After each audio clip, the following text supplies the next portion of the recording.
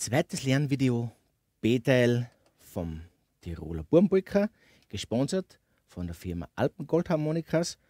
Und das ist jetzt ein ganz scharfer. Das ist ein ganz scharfer Teil. Wir sind jetzt in der zweiten Reihe, S-Dur, in der hohen Lage. Und da sage ich gar nicht viel jetzt, gell? weil sonst war das alles zerrissen. In der hohen Lage, der zweite Finger, der geht nie weg. Gell? Und die Melodiestimmen spielen wir immer mit dem dritten, vierten Finger. So, Auftakt. you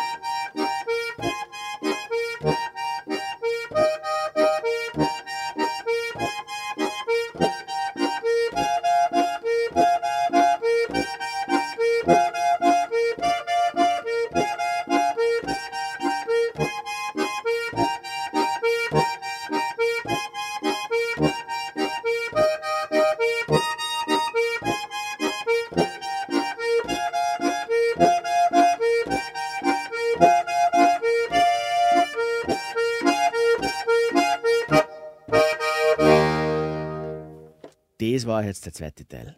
Nicht vergessen.